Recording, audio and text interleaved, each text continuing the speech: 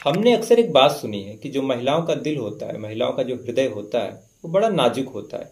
अगर कोई घटना, दुर्घटना भी हो जाती है तो पुरुषों के मुकाबले उस घटना की वजह से, उस हादसे की वजह से महिलाएँ जो होती हैं, वो ज़्यादा रोती हैं। यानी महिलाएँ जो होती हैं, वो ज़्यादा सेंसिटिव होती हैं। घर की औरतों को इसीलिए कई ऐसी चीज़ों से दूर रखा जाता है कि जो इनका दिल है, वो बड़ा नाजुक है। इनको इस बात से ठेस पहुँच सकती है। इस घटना का इनके ऊपर प्रभाव पड़ सकता है। इसलिए कई ऐसे, अगर कोई ऐसा वाक्य होता है, कई ऐसी तस्वीरें होती हैं। अब मरने के बाद अगर घर में किसी की मौत हो जाती है तो महिलाओं को इसलिए शमशान घाट नहीं जाने दिया जाता, क्योंकि महिलाओं का जो हृदय होता है, वो बड़ा नाजुक माना जाता है कि अगर वो जलाने या फिर दफनाने का काम देखेंगी अपने सामने तो ये चीज़ें, ये सदमा शायद महिलाएँ बर्दाश्त न कर पाए। लेकिन इन सबसे उलट अगर मैं आपसे कहूँ कि क्या कोई महिला ऐसी भी हो सकती है जो किसी बच्चे का खून पिए यानी वो महिला जो होती, होगी, वो बच्चों का खून पीने वाली हो, यानी एक तरह से वेम्पायर हो तो शायद इस चीज़ पे आपको यकीन ना हो और आपको लगे कि जो सामने वाला बता रहा है जो सामने वाला बोल रहा है, वो गलत बोल रहा है। लेकिन आज की जो कहानी है, आज की जो घटना है, ये सुनने के बाद, महिलाओं के बारे में जो आपकी ये धारणा है, ये कहीं ना कहीं प्रभावित ज़रूर होगी। तो आदाब, नमस्कार, जय हिंद, वंदे मातरम, मैं आपका अपना ठाकुर प्रखर सिंह। आज मैं जिस कहानी के साथ, आज मैं जिस सच्ची घटना के साथ हाजिर हुआ हूँ ये कहानी, ये घटना कोई सात समुद्र पार किसी दूसरे देश की नहीं है। कोई ऐसी जगह की नहीं है, कोई ऐसे समुदाय की नहीं है। ना ही किसी कबीले से, ना ही किसी ऐसे मानसिकता वाले एक समूह से बिलोंग करे कि जहाँ पे ये चीज़ आप पॉजिटिव वे में ले सकते हैं कि हो सकता है वहाँ शिक्षा का अभाव या फिर ऐसी चीज़ों का अभाव हो। आज की जो कहानी है, ये हम ही आप में के बीच रहने वाले एक आम नागरिक, एक आम महिला की है, जो समय बीतने के बाद अपने ही घर के कुछ लोगों की खून की प्यासी हो जाती है और ये जो मुहावरा, ये जो कहावत है, खून की प्यासी, ये मुहावरा, ये कहावत शायद इसी महिला के लिए बनी थी, इसी महिला के ऊपर फिट बैठती चूँकि ये महिला बच्चों का खून पीने वाली महिला थी। तो अब सीधा चलते हैं आज की इस कहानी के ऊपर, लेकिन कहानी शुरू करो, उससे पहले आपसे एक छोटा सा अनुरोध, छोटा सा निवेदन कि अगर आप हमारे चैनल पर नए हैं, हमारे वीडियो पे नए हैं तो वीडियो को एक लाइक कर लीजिएगा, चैनल को सब्सक्राइब कर लीजिएगा। क्योंकि जब आप एक लाइक करते हैं, जब आप एक कमेंट करते हैं, जब आप सब्सक्राइब करते हैं तो आप अपने तरीके से, अपने तरफ़ से एक ग्लास ग्लूकोज मुझे दे देते हैं कल की मेहनत के लिए, कल और अच्छे अच्छे वीडियोज़ लाने के लिए नई नई कहानी आपके सामने लाने के लिए। और अगर इस समय आप कहानी साढ़े आठ से नौ के बीच में देख रहे हैं और कहानी आप लाइव देख रहे हैं तो वीडियो में एक लाइव चैट का ऑप्शन है। तो आप वहाँ पे कमेंट कीजिए, मैं आपके कमेंट को रीड भी करूँगा, एक दूसरी आईडी से आपके कमेंट का रिप्लाई भी करूँगा और आप लोग एक दूसरे से भी बातचीत कीजिए, इससे हमारे देश में जो भी लोग देख रहे हैं एक दूसरे को जानेंगे एक दूसरे से जुड़ेंगे तो एक तरह से एकता की इन सारी चीज़ों की भावना भी बढ़ेगी। तो आप लाइव देखिए कमेंट कीजिए और लाइव चैट में एक दूसरे से बात कीजिए तो इससे एक तरह से हमारी फैमिली भी स्ट्रांग होगी एक दूसरे को लोग जाने तो अब सीधा चलते हैं आज की इस कहानी के ऊपर। आज की कहानी आ, इसी साल साल 2022 में 22 अगस्त ये दिन था ये तारीख थी। यूपी का एक जिला अमरोहा अमरोहा में एक थाना लगता है आदमपुर। वहाँ के एक गाँव में एक परिवार कई सालों से खुशी खुशी रह रहा था। घर में छोटे छोटे बच्चे थे, बच्चों की गिलकारियाँ गूंज रही थी। दो भाई थे, दोनों भाइयों की पत्नी थी, बड़े भाई के तीन बेटे थे और छोटे भाई की शादी कुछ साल पहले हुई थी, हालाँकि उसका कोई बच्चा अभी वजूद में नहीं आया था। ओवरऑल जो पूरा परिवार था, बहुत खुशी खुशी रह रहा था। घर में किलकारियों की गूंज थी, बच्चों को लोग खिलाते थे, पिलाते थे सारी चीज़ें चल रही थी।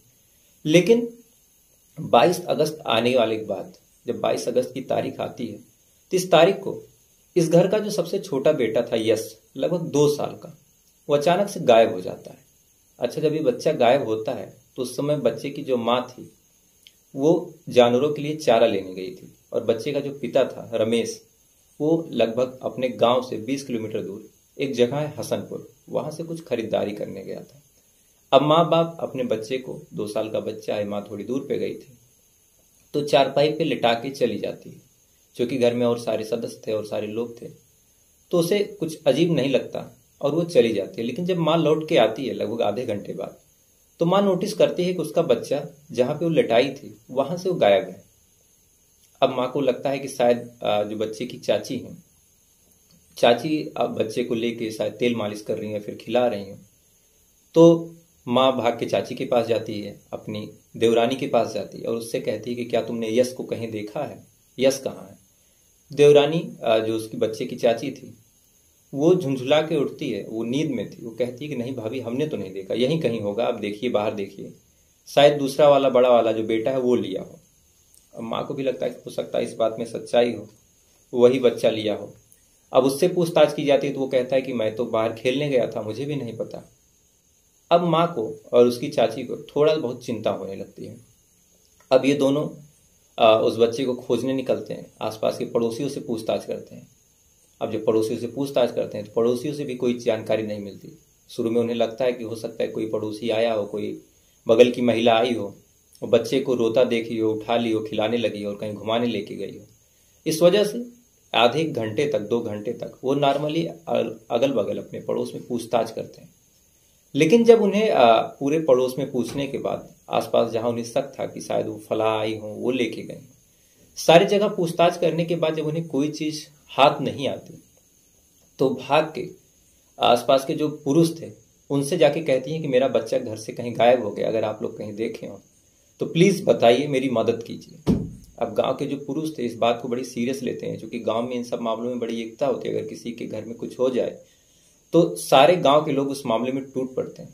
इसलिए अब गाँव के जो पुरुष थे, चूँकि वो गाँव जंगल के बगल था तो उन्हें लगता है कि कहीं कोई जंगली जानवर तो नहीं बच्चे को उठा लेगा। ये सारी कौतूहल, ये सारी चीज़ें एक दूसरे से करते हैं और उस बच्चे को खोजने के लिए आसपास के इलाकों में, आसपास की जगहों पे भटकने लगते हैं। लेकिन घंटे बीत जाते हैं, दो घंटे बीत जाते हैं। उस महिला के, बाकी गाँव वालों के हाथ में कोई भी चीज़ हाथ नहीं आती। न उस बच्चे का कुछ पता चलता है। अब इधर जो माँ थी, उसका रो रो के बुरा हाल। अब वो थक हार के अपने पति, जिसका नाम रमेश था, जो हसनपुर गया था सामान लाने। रमेश को फ़ोन करती और कहती है कि जो हमारा बच्चा है, हमारा जो बाबू है, वो गायब हो गया तो इतना सुनने के बाद रमेश के तो एक तरह से होश ठिकाने आ जाते हैं, उसे लगता है ये क्या बोल रही है। वो समझाता है, कहता है, देखो, कोई लिया होगा, आसपास होगा। तो महिला कहती है कि नहीं, मैंने सारी चीज़ें करके देख ली। हमारा जो बच्चा है, उसका कुछ पता नहीं चल रहा अब रमेश आधे अधूरे काम से, जो आधा अधूरा काम उसका हुआ था, उस काम को वहीं छोड़ता और भाग के सीधा सीधा गाँव आता है और गाँव आते ही चारों तरफ़ देखता है, जब कुछ नहीं मिलता तो फूट फूट के रोने लगता है।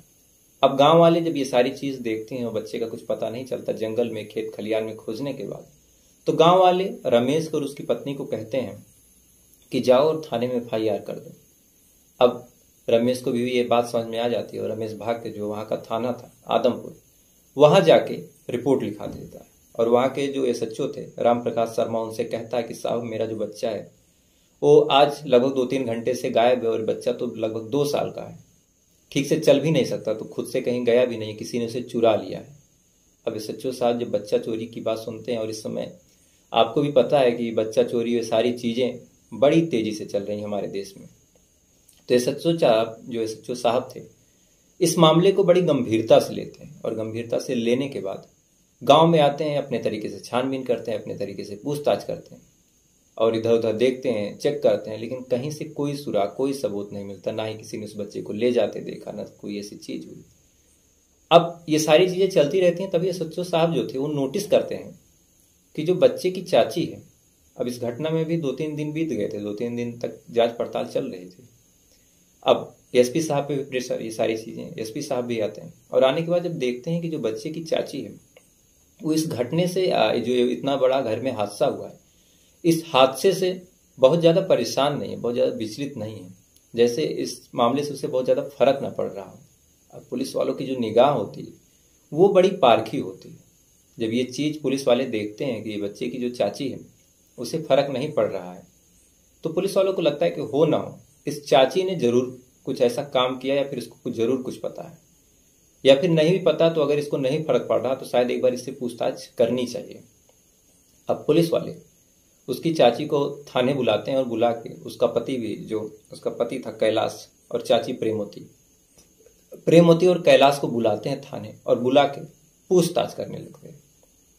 अब जब प्रेमवती से पुलिस वाले कहते हैं कि क्या इस बच्चे की गुमशुदगी के बारे में तुम्हें कुछ पता है? तो जो प्रेमवती थी, वो गुस्से में आके पुलिस वालों पे भड़क जाती और कहती है कि साहब, एक तो हमारा भतीजा गायब है और अब हमारे ऊपर इल्ज़ाम लगा रहे हैं। अब जब ये गुस्सा, ये जो आक्रोश दिखाती है तो पुलिस वालों को भी एक बार लगता है कि शायद हमसे कोई गलती हो गई लेकिन फिर पुलिस वालों को उसकी बातों में, उसके बोलने के तरीके में, बोलने के अंदाज में घबराहट दिखाई दे रही थी। थोड़ी सी घबराहट, साफ़ झलक रही थी। अब पुलिस वाले इस चीज़ को जब नोटिस करते हैं तो उन्हें लगता है कि महिला को छोड़ो। जिसका पति है, कैलाश, उससे पूछताछ की जाए। अब पुल कैलाश जब पुलिस कैलाश से पूछताछ करती है तो बिना किसी ज़ोर ज़बरदस्ती के, कैलाश जो है, वो सारी कहानी बता देता है। और कहानी जो निकल के सामने आती है, इस कहानी को सुनने के बाद, इस कहानी को जानने के बाद, मेरा आपसे यही अनुरोध है कि अगर आप कमज़ोर दिल के हैं, आपका दिल अगर कमज़ोर है तो प्लीज़ इस वीडियो को आप यहीं छोड़ दीजिए, क्योंकि ये कहानी मानवता, इंसानियत, रिश्ते, नाते अपना पढ़ाई, ये सारी चीज़ों को आज शर्मसार कर देगा। ये कहानी सुनने के बाद आप रिश्तों नातों इन सारी चीज़ों पे भरोसा नहीं कर पाएँगे। कैलाश बताता है कि उसकी और प्रेमवती की जो शादी है, दो से तीन साल पहले हुई थी। तीन भी कहना गलत होगा, लगभग पाँच साल पहले हुई थी। अब शादी होती है, शादी के एक साल बाद इनको एक बच्चा होता है। बच्चे का नामकरण होता है, बच्चे के बारे में घर वाले पूरी खुशी मनाते हैं। आसपास सोहर, कीर्तन, ये सारी चीज़ें होती है, लेकिन बच्चा जैसे दस दिन होता है, दस दिन का, बच्चे की मौत हो जाती है। अब घर वालों के ऊपर एक तरह से दुखों का पहाड़ टूट जाता है, ये क्या हो गया? घर वाले सारे लोग मिलके इन दोनों को ढांढस बताते हैं और कहते हैं कि कोई बात नहीं दोबारा ईश्वर चाहेंगे दोबारा बच्चा होगा। और लोगों की बात सही भी होती है, कुछ दिनों बाद, लगभग एक दो साल बाद, एक दूसरा बच्चा होता है। अब घर वालों में फिर से एक खुशी का माहौल, एक उम्मीद की किरण जगती है कि चलो, एक बच्चा जो गया हो गया, वो शायद अपना नहीं था। ऊपर वाला अगर कुछ करता है तो उसके पीछे कोई कारण होता है। चलो, दूसरा बच्चा हो गया है। अब घर में कोई कमी नहीं है, सारे लोग खुशी खुशी रहेंगे। लेकिन ये बच्चा भी जैसे एक डेढ़ महीने का होता है, इस बच्चे की भी मौत हो जाती है। अब जब ये घटना होती है तो जो प्रेमोती थी और कैलाश थे, अब विचलित हो जाते उन्हें लगता है कि ये क्या हो गया। अब इतना होने के बाद अब हमारे दो दो बच्चे मर गए, इसका मतलब कोई गलत तो नहीं है, कोई क्या हो गया, किसी का श्राप तो नहीं लगा, कोई भूत प्रेत तो नहीं है। वो डॉक्टरों से भी इलाज कराते हैं, मंदिरों में भी जाते हैं, मन्नत मांगते हैं सारी चीज़ें करते हैं। तभी जो प्रेमोती थी, उसका कोई जो माइका था, वहाँ से कोई सुझाव देता है कि एक तांत्रिक है। यहाँ से लगभग बीस किलोमीटर दूर, एक तांत्रिक है, हसनपुर में। वो जो तांत्रिक है, वो बड़ा सिद्ध तांत्रिक है, उसको एक बार दिखा लो। शायद कुछ फ़ायदा मिल जाए, कुछ आराम हो जाए और वो कुछ पूजा पाठ कर देगा तो ठीक हो जाएगा। अब मरता क्या ना करता, ये दोनों भाग के उस तांत्रिक के पास जाते हैं। तांत्रिक का नाम था नसीम अली। नसीम अली इनको देखता है और देख के कहता है कि तुम्हारे जो बच्चे मर रहे हैं, इसलिए मर रहे हैं क्योंकि तुम्हारे ऊपर एक जिन्न का साया है और इस साय को हटाना पड़ेगा, तुमको शुद्ध करना पड़ेगा। अब ये दोनों बड़ी श्रद्धा से कहते हैं कि अच्छा महाराज, इसके लिए क्या करना होगा? आ, क्या रास्ता है? कौन सी पूजा करनी होगी? तो फिर ये बताता है तांत्रिक नसीम अली कहता है कि अमावस्या की रात को तुम एक बकरे का इंतज़ाम करके आओ तब मैं बताऊँगा। अब ये दोनों मान जाते हैं एक बकरा लेके अमावस्या की रात को। अच्छा ये सारी बातें ये अपने जो जेठानी है और अपना जो भाई है उसको नहीं बता रहे हैं। दोनों ये सारी चीज़ें चोरी चोरी कर रहे हैं। फिर वो कहता है कि बकरे का इंतज़ाम करके अमावस्या की रात को आना और ये ये फला फला सामग्री इसको भी लेके आना। अब ये दोनों, ये सारी चीज़ें इंतज़ाम करते हैं, एक बकरे का इंतज़ाम करते हैं। और उसके बताए हुए ठिकाने पर रात को लगभग बारह बजे पहुँचते हैं अमावस्या की रात को। अब तांत्रिक कहता है कि इस बकरे की बलि दो और इसके खून से बिना कपड़ों के, तुम्हारे शरीर पे एक भी कपड़ा नहीं होना चाहिए, बिना कपड़ों के तुम नहाओ और नहाने के बाद गंगा में जाके स्नान करो, उसके बाद तुम्हारे ऊपर जो जिन का साया वो हट जाएगा। और जो तुम्हारे बच्चा अभी पेट में है, तुम्हारे कोख में जो भी बच्चा है इसका जो स्वास्थ्य होगा, ये उत्तम होगा, इसे कोई दिक्कत नहीं होगी, ये बच्चा जो होगा, लगभग सौ साल जिएगा। अब ये सारी चीज़ें जब कहता है वो तांत्रिक तो जो कैलाश था, इन सारी चीज़ों के खिलाफ जाता है, कहता है कि नहीं, ये सब हम नहीं करेंगे, किसी चीज़ की हम बलि नहीं दे पाएँगे। लेकिन जो प्रेमवती थी, वो जिद पे अड़ जाती है, कहती है नहीं, मुझे बच्चा चाहिए, मुझे बच्चा चाहिए। अब प्रेमवती जिद करती है और कैलाश भी मजबूरी में उस बकरे की बलि देता है। और जो प्रेमवती है, वो उस बकरे के खून से बिना कपड़ों के नहाती और नहाने के बाद जो सारी क्रियाएँ थी तांत्रिक की, वो करती है और करने के बाद गंगा में जाती है और नहा के चली आती है। अब तांत्रिक के कहने के हिसाब से, जिस हिसाब से तांत्रिक ने कहा कि अब बच्चे को कोई दिक्कत नहीं होनी चाहिए, बच्चे का जो स्वास्थ्य हो सही होना चाहिए। लेकिन ये बच्चा जैसे ही सात से आठ महीने का होता है, ये पैदा हो जाता है और समय से पहले पैदा होने की वजह से बच्चा मरा हुआ पैदा होता है। अब ये बात, ये घटना जब होती है तो कौन कहे कि डॉक्टर के पास जाए चेकअप कराएँ, ये सारी चीज़ करें? जो प्रेम होती है, अब चूँकि पति पहले ही इन सारी चीज़ों के खिलाफ है, कैलाश इन सारी चीज़ों के खिलाफ था। तो जो प्रेमवती है, अपने मायके से किसी को लिवा के, उस तांत्रिक के पास फिर से जाती है। और कहती है कि, बाबा, आपने तो बताया था, लेकिन मेरा जो बच्चा है, वो तो मरा हुआ, पैदा हुआ। अब तांत्रिक कुछ देर विचार करता है और विचार करने के बाद कहता है कि जो तुमने बकरे की बलि दी थी, वो तुमने फला फला गलती कर दी थी। इस वजह से तुम्हारी ये जो बलि है वो स्वीकार नहीं हुई। हमारे जो जिन है, हमारे जो ये सारे लोग हैं, इन्होंने इस बकरे की बलि को स्वीकार नहीं किया। इसलिए अब तुम्हें एक बच्चे की बलि देनी होगी। अब कायदे से सोचिए, एक आदमी एक बच्चे का मर्डर करने के बारे में बोल रहा है, वो भी बलि के नाम पे। अब जब ये चीज़ जो तांत्रिक बोलता है, वो पाखंडी बोलता है तो जो प्रेम होती है, वो कहने लगती है कि ठीक है बाबा, हम बच्चे की बलि देंगे। अब ये कहने के बाद वहाँ से घर चली जाती है इसका भाई या फिर जो भी उसके मायके से गए तो कहते हैं कि बच्चे का इंतज़ाम कहाँ से होगा। अब प्रेमवती बेचैन होकर चारों तरफ़ बच्चे को खोजने लगती है। और खोजने के बाद आसपास आसपास के इलाकों में देखती है उसे जब कोई बच्चा नहीं मिलता। और एक दिन ऐसी ये सारी चीज़ें जब वो सोच रही थी, और लगभग 20 अगस्त का दिन था, इसी साल 2022 में सारी चीज़ें जब वो सोच रही थी, तभी उसके दिमाग में आता है कि बच्चा तो हमारे घर में भी है। अब ये सारी चीज़ें जब उसके दिमाग में आता है, उसके बाद वो उस तांत्रिक को फ़ोन करती है और कहती है कि, बाबा, आप अपनी पूजा शुरू कीजिए। और जब बताएँगे तो मैं आ जाऊँगा, आ जाऊँगी।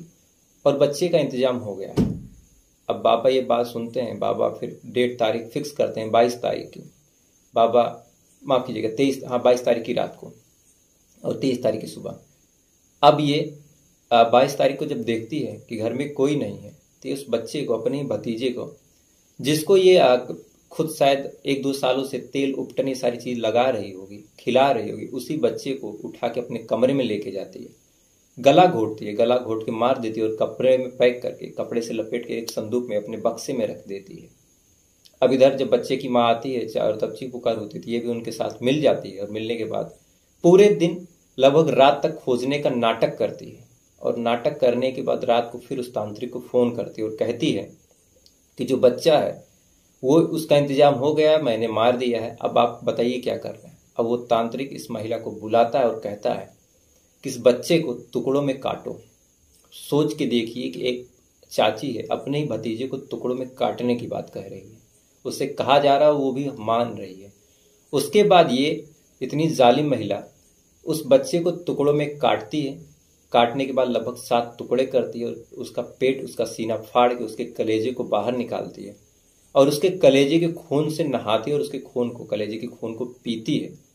और पीने के बाद बाकी बॉडीज को जो बाकी शरीर थे, उनके अंगों को खोजती है।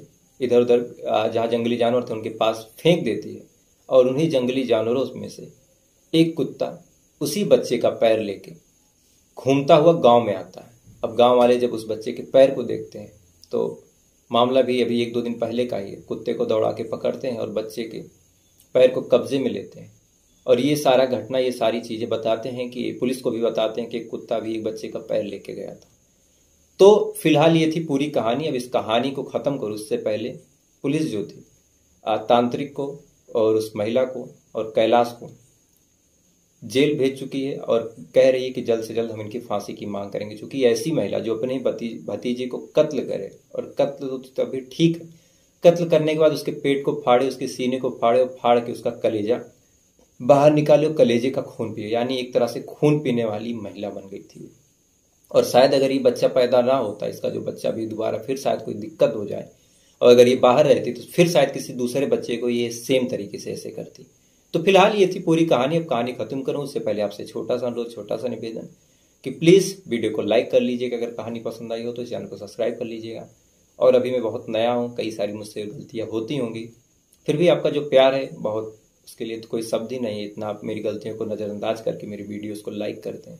और अगर आपको कोई गलती दिखे तो प्लीज़ बताइएगा, जहाँ तक होगा मैं सुधार करूँगा। तो अब आपसे कल फिर मुलाकात होगी किसी नई कहानी के साथ। अब तक अच्छे रहिए, खुश रहिए, जय